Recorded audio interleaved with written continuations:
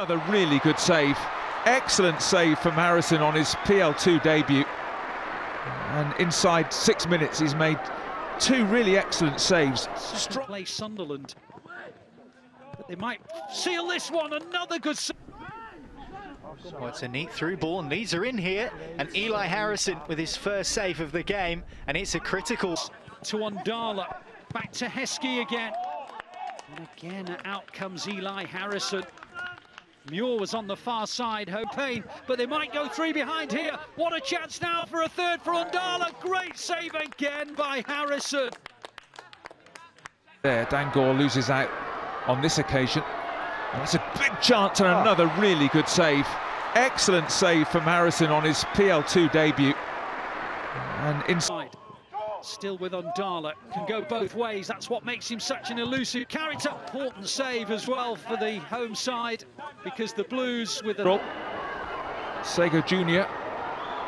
Oh, he's done really well there and Oh. more superb goal. Sousa cutting in, still going. It's a good run.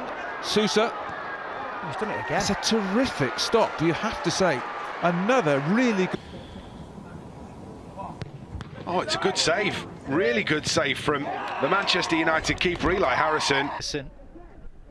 And now this is Chambers, who's found some room and found the fingertips of Harrison. Well, he was outstanding against Manchester. Once again, as quick as they were level, they almost went behind. But for It's a fired shot that draws a great save out of Harrison. And he's up and smothering at the feet of Richards. Well, first real sight. Forward on that left side. Nice through ball for Whittingham. Keeper's there again. Good move, but again, doing his job well. Shot comes in from Beaumont Clark. What a save. What a brilliant save from Manchester United's number one. Tips it over the bar. Good, it comes to Armstrong. Armstrong pokes this through to Sharif. Sharif takes a touch, fires it goalwards. Good save with the feet from Elyh Harrison. And he's quickly sprung back up again and claimed the high ball too. Yeah, it was spinning as well. And right back again, Smith.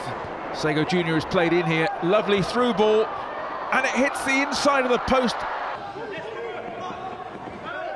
that's a, was that a shove from Bell? Oh, oh, what's a terrific save. It really... by Murray, but that's a dangerous little through ball. And that's a decent save because Edwards made space. That is a really good save, Stu. It is a good.